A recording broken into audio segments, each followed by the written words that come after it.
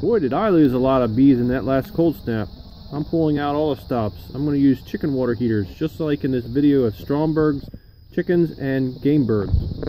They are thermostatically controlled, so that means that there's a thermostat built right into them. These are going to turn on at about 35, to usually like 38 degrees, these will be turning off. That should take care of the uninsulated ones. And there's my dead bees.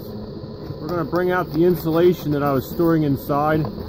It's just foil tape. It doesn't hold up too well in the weather. It starts to peel away. And we're going to put electric heaters in this stack. This is one of the Apis biologics group. There's two hives, colonies, one on top of the other. And these two are going to be heavily insulated. These are the other two Apis biologics test group.